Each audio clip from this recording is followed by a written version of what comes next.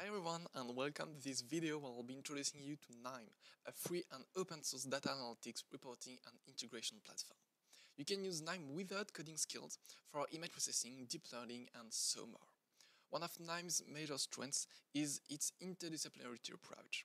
It seamlessly integrates with coding languages such as Python, Java, ImageJ and R. KNIME allows everyone with its own programming background to share and collaborate. It's like an anti-Babel tower. So let's get started. So here are the data I'm gonna use in this video. Uh, they are similar to uh, data I used in another video about Omero. Um, so there are almost uh, four, uh, 400 pictures of uh, beetroot leaves uh, with, with more or less disease, just, just like this one. I also have uh, corresponding masks. So uh, as you can see for each pictures, you, you have a mask uh, with uh, in white uh, the leaves and the diseases and in black uh, the, the background. Finally, I have also a CSV file with, with all the images and some metadata, such as the year where the, the picture was taken, the disease, small big, and the lighting, low, high, or medium.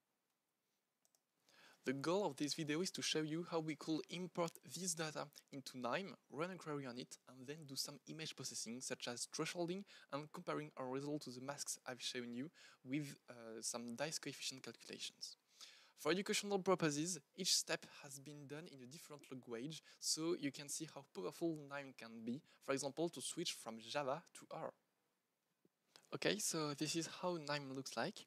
So you have on the left uh, some files which are called workflows um, with your own workflows and also some example workflows developed by the community to, to learn at your own pace. So uh, the workflow I'm going to present you now is uh, for image processing and uh, it looks like that.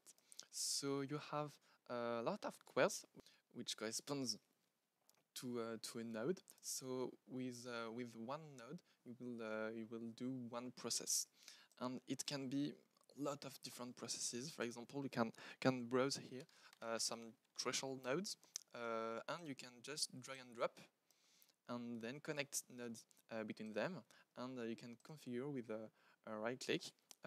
choose your, your method. if you want to process channels, also you can you can configure as, as you want. You can also import some nodes to, to write some scripts. Uh, you can import uh, Python nodes, uh, just like this one, and then you can uh, you can write your your Python Python codes, and you can do that also with uh, with Java or ImageJ and so on. Here, for now it's empty, but for each node we will have a table a table produced, and it will be here. It's it's how KNIME works with with this table. So let's start with the beginning. Uh, so the import part. Um, as you can see, each node has uh, three colors. Uh, a red one, uh, just like this one, a yellow one, and uh, a green one. Uh, when it's red, Uh, it's you, you can't you can't launch it, you can't execute it. You have to configure it. When it's yellow, you can execute it because uh, because uh, previous nodes are okay uh, and you can execute it. And when it's it's uh, it's run, uh, you can it's it's in green. So I have already imported all the images and the CSV the CSV file. So as you can see here in the table, we have an ID for each images which correspond to, to names and then uh, an image uh, which is uh, which is like a, like a, a path object you can you can use a joiner in order to to join uh, the CSV file and the and the image you imported. So I execute it. Uh, it turns to to uh, green, and then in the same table I have uh, the CSV file and the image uh, and the images. Okay. Um, then uh, this is called a meta node. so a meta node is a node with other nodes. when I double click, uh, I can I can see uh, I can see other nodes. It's a way to to make workflow uh, more easy to read. and in this meta node, I process some queries. So Okay, so you can uh, you can say if you want only uh, pictures uh, taken in 2020, 2021, or 2022, or everything. Uh, for example, we'll check uh, 2020 uh, with I don't know small diseases and uh, with all lightings, for example, and then you will have a uh, table here with uh, only small diseases and uh, and taken in 2020, but with uh, with all the the lighting types. So to do a query like that, uh, in this meta node, uh, I used uh, the, the Java snippet in order to produce produce this this uh, this window uh, this window where, where where you can choose uh, the, the, the type you want. so it's a it's a JSON pane show show optional dialog. this one. Another powerful feature of KNIME is that you can view the images whenever you want. So you can you can just check in live uh, how how the the images are.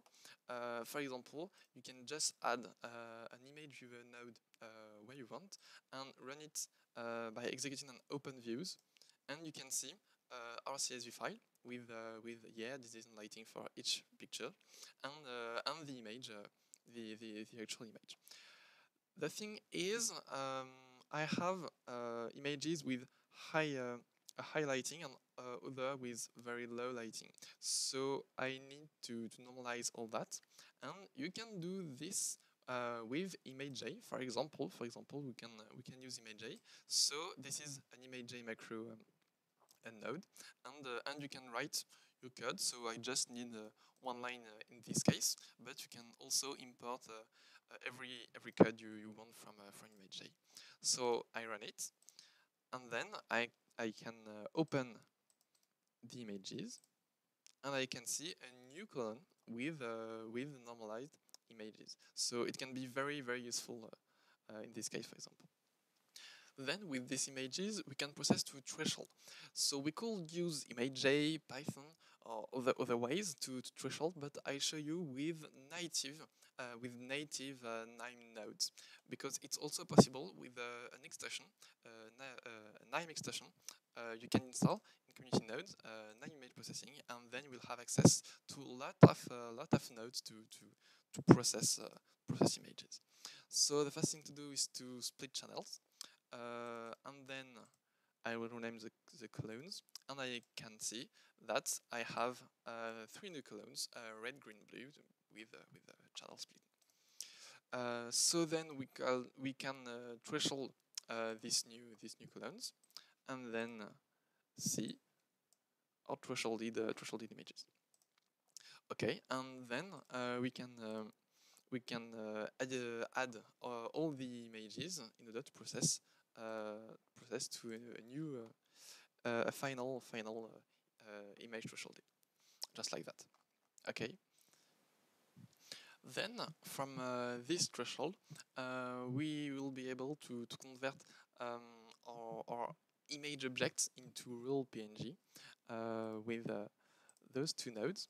And, and then we'll be able to, to, to write them and download, download them um, in, a specific, in a specific folder you, you will set. Uh, so I execute it.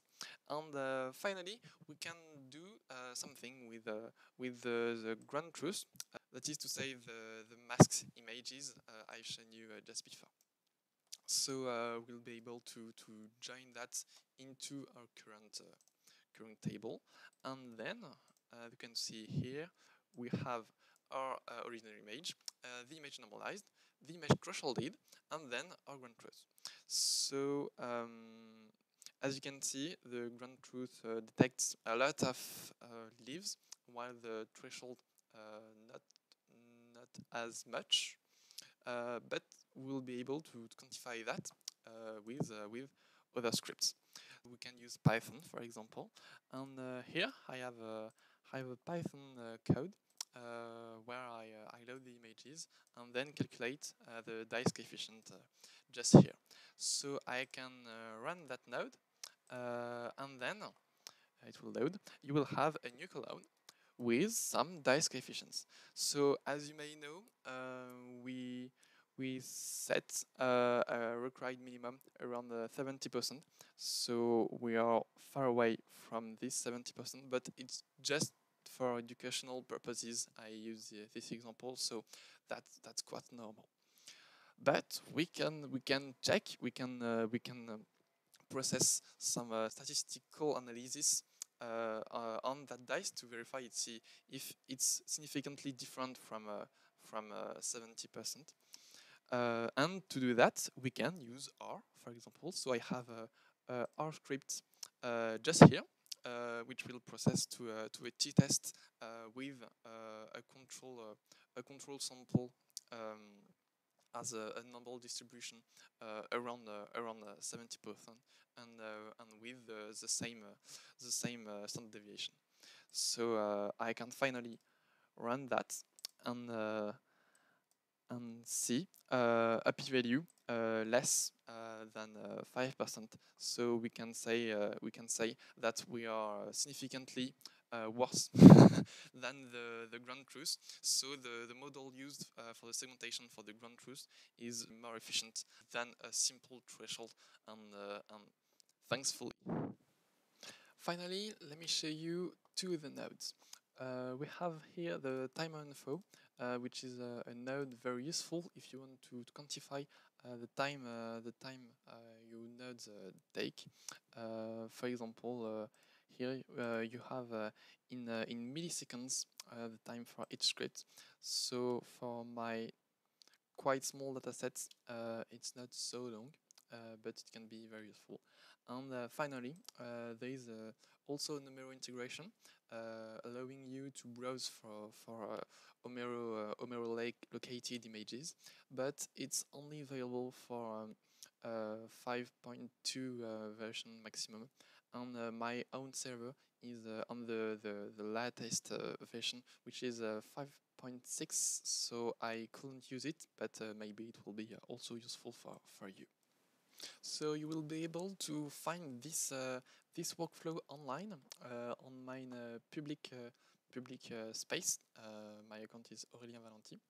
Um, so you can just drag and drop uh, like this one, drag and drop into into KNIME and will be able to uh, to just do what I what I did in this video. Uh, be careful. Um, I have imported uh, quite different uh, images, uh, so don't uh, don't reset this node because as you can see here, I have imported um, less images and quite quite modified one. But you can also process um, everything. So it's already proceed. You can just uh, just execute uh, the image viewer node, uh, and finally you will you will see, uh, for example, this one, uh, the thresholded images uh, with the ground truth. It's quite similar to to what we had just before, and finally the you have also a p-value less than five percent. So let's see a comparison between uh, KNIME and uh, Omero. Um, so if you want more information about Omero, you can see the, the video related I, uh, I also produced on this uh, YouTube channel. So concerning the integration, uh, both um, have uh, links with a lot of applications, just Python, Fiji, R, MATLAB, and others. But for KNIME, it's only a specific node. You can just drag and drop uh, into uh, this software.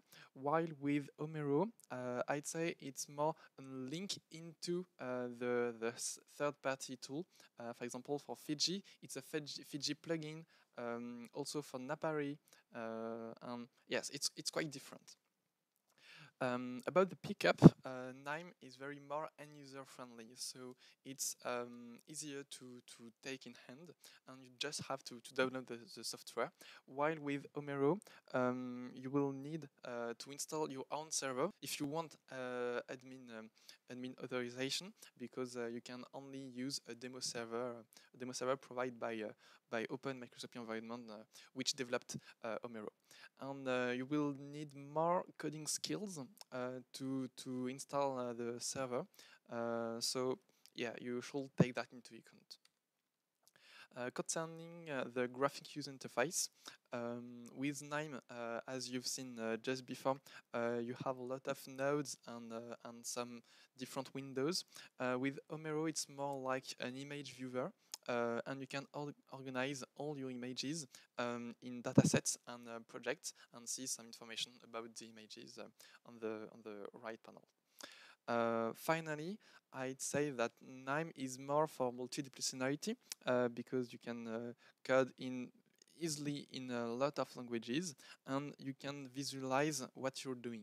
While with Omero, it's more like image management and uh, also uh, his main um, pros is uh, that you can uh, use a server and access to images even remotely um, and with, uh, with KNIME you, you can't do that.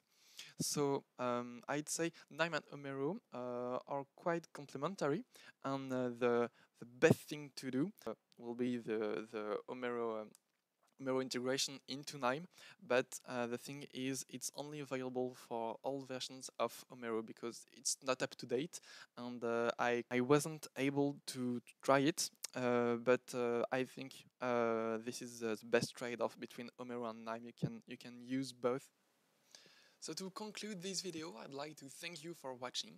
Don't hesitate to check out my workflow by following the link just in the description below and uh, also my video uh, on Omero, where I uh, thresholded images from a result pretty similar to what I did here but in another way. So uh, check it out and have fun with KNIME and Omero.